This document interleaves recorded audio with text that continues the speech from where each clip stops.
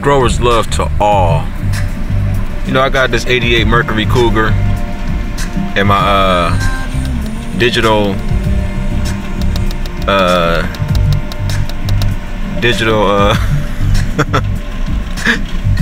ah shit. Hey my brain went boop. I'm waiting for it to go boop boop boop. I hope everybody having a good day.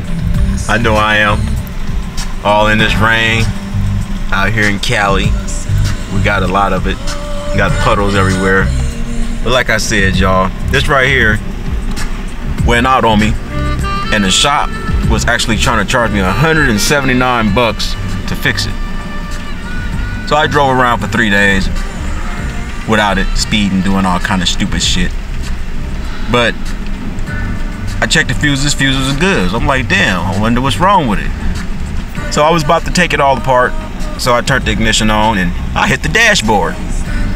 And this came back on.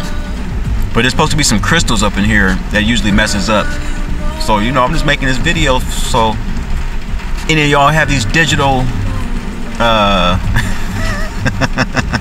speedometer. There you go. The digital speedometer. Hit that mug before you uh, spend all that money. You know what I'm saying? Because it, it was out. All this right here was nothing working. That was working. But my speed speedometer wasn't working. So I, like I said, I hit the dash and it popped back on. I was happy because that was a whole bunch of money saved that I was saving. I was gonna hit Pick-A-Part and get it. But that was like what, 50 bucks at Pick-A-Part? I know everybody know what Pick-A-Part is. But yeah, it's all good, y'all. You know, just sharing that with y'all, you know.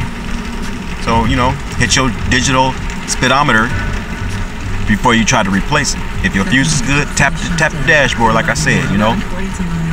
It worked for me, it might work for y'all too. Just something something to throw in the air at y'all.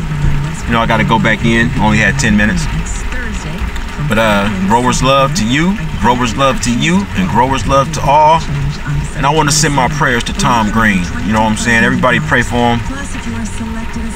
Pray for him, y'all. Growers love to all. Growers Love.